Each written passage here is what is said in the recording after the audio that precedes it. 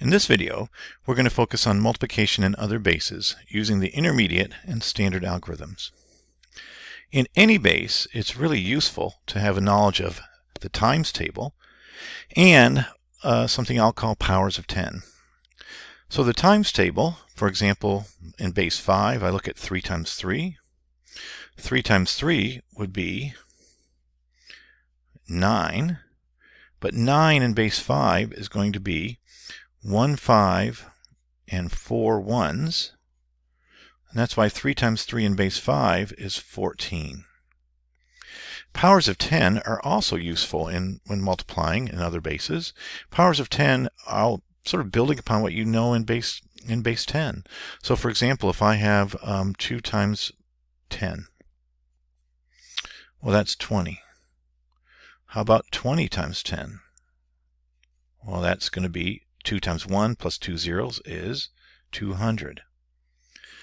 Um, how about if I do something like this? 6 times 3. Well, that's 18. 6 times 30. Well, that's going to be 6 times 3 is 18 plus a 0, 180. So you can use this same idea about multiplying powers of 10 in other bases. So for example, in base 5, I've got that 2 times 2 is 4. It's in true in base 5, true in base 10. So in base 5, 2 times 2 equals 4. But 2 times 20 in base 10 would equal 40. 2 times 2 and then add a 0. How about 20 times, say, 30 in base 4? Well, 2 times 3 is 11. And then I've got two zeros, so that would be 1100, all in base 5. Okay, so all these are base 5s. So using powers of 10 are often very helpful as well. So let's go to a couple multiplication problems, and uh, let's do these in base 8. So we're going to do this using the intermediate algorithm on the left and the standard algorithm on the right. All right, so I'll list out the intermediate algorithm. Remember, you sort of keep track of all the things you're multiplying. 5 times 5 in base 8, that's going to be 3 eighths with 1 left over. That's 5 base 8 times 5 base 8. And all this is in base 8.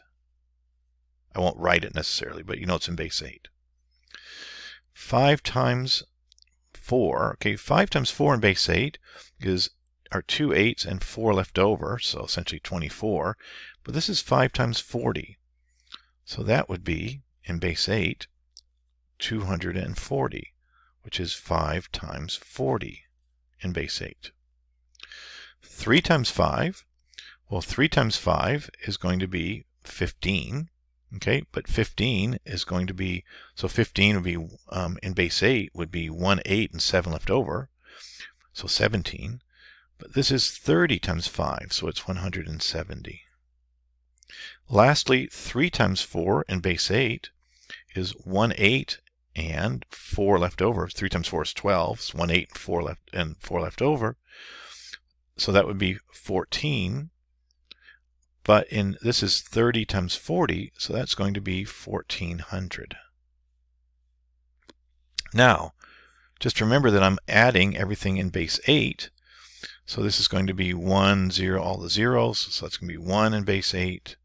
In base 8, I've got 3 and 4 is 7, and 7 makes 14. 14 is 1 8 with 6 left over. 1 and 2 makes 3. 3 and 1 makes uh, 4. 4 and 4 makes 8. 8 is 1 8 with 0 left over. 1 and 1 makes 2. So that is the intermediate algorithm. You list each of these each of these sort of products that you're finding. This would be 30 times 5. That's how we got the 170, all in base 8. And then 40 times 30, or 30 times 40 for the last one, using powers of 10 there. Now, for the standard algorithm, we have to do a little more record keeping in our head. And I like to color code this. I'm going to say I'm going to do the multiplication of the ones digit and keep record in, in, say, one color. Then for the tens digit, keep a record in a different color. So 5 times 5. So 5 times 5 is 25. 25 is 3 eighths with 1 left over. So I'm I'm carrying in red. 5 times 4 is 20, plus 3 makes 23. 23 is 2 eighths with 7 left over. And we just bring down our 2. All right, now let's go to a different color and we'll multiply our tens. So 3 times 5, well, first of all, I'd, I'd say I've got 30. I this is not 3 times 5, but 30 times 5. So I'm going to write a 0 there. So 3 times 5 is 15. 15 is 1 8 with 7 left over. 3 times 4 is 12. Okay, 12 is, uh, so 3 times 4 is 12, plus 1 is 13. 13 would be 1 8 with 5 left over. And then we just bring down our 1. Now let's add those up knowing that you're adding in base 8. So 1 plus 0 is 1. Uh, 1 plus, uh, let's see, 7 plus 7 is 14. In base 8, that is 1, uh, 8, and 6 left over. 1 and 2 is 3, and 5 makes 8. Okay, 8 is 1 8 with 0 left over, and 1 and 1 makes 2 in base 8. So using the intermediate or standard algorithm, the product of 45 base 8 and 35 base 8 is 2061 base 8. Let's do one more. That's a little bit more complicated because it involves hundreds. And I would do this again using the intermediate, I will do it again, using the intermediate algorithm on the left and the standard algorithm on the right. Okay, using the intermediate algorithm in powers of 10, 3 times 2, and we're in base 4 in this case, so 3 times 2, base 4, that is 6. 6 is 1, 4, and 2 left over, so that is 2 times 3. Uh, 2 times 2, base 4, is 2 times 2 is 4. That is 1, 4, and 0 left over, which is 10. But this is 2 times 20, so we're going to use that powers of 10. That's going to be 100. That's 2 times 20. 2 times 3, we've already said, is 12 in base 10. But this is not 12. This is not 2 times 3. This is 2 times 300. So we'll take the 12 and add two zeros. That is 2 times 300 using powers of 10. Now let's go to the 30. So 3 is a 3 is not just 3, it's a 30.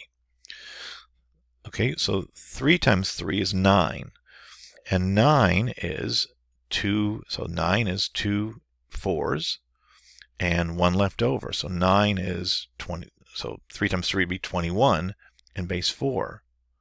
But this is 3 times 30. So that's going to be 210, not 21, but 210. That is 30 times 3. 3 times 2, we've already said is 12. But this is not 3 times 2. This is 30 times 20. So that's going to be 3 times 2 is 12. Add two zeros. So 1200, which is 30 times 20. And lastly, 3 times 3, which we've already said is 21, but this is not, this is not, this is 21, so 3 times 3 is 21 in base 4, but this is, this is 30 times 300. So I would add three zeros, so that's going to be 221,000 in base 4, which is 30 times 300. All right, now just remember we're adding in base 4. So 2's all the way down is just 2, base 4. 1 and 1 makes 2, so that's good. Okay, here we've got 1 and we've got 2 and 2 and 2 is 6 and 7. So 7 is going to be 1, 4 with 3 left over. 1, 2, 3, 4. That is 1, 4 with 0 left over. 1 and 2 makes 3. All right, so 323 base 4 times 32 base 4 is 30,322 base 4. Let's finish this up with one last look, doing this with the standard algorithm. And again, this is I find it a little more difficult because you have to sort of keep record of things in your head. Again, I'll do it in different colors. Do the 2 first. So 2 times 3 is 6. 6 is 1 4 with 2 left over. Um, 2 times 2 is 4, plus 1 makes 5. 5 is 1 4 with 1 left over. 2 times 2, 2 times 3 rather, is still 6. Uh, plus 1 is 7.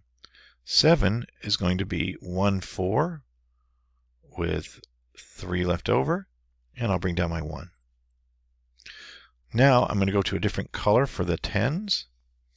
And for this, remember to, it's a tens, so I'm going to put a zero there.